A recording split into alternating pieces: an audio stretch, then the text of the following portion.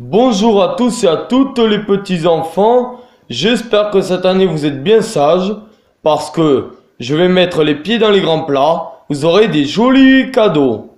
Pour le 25 décembre, quand vous vous lèverez le matin.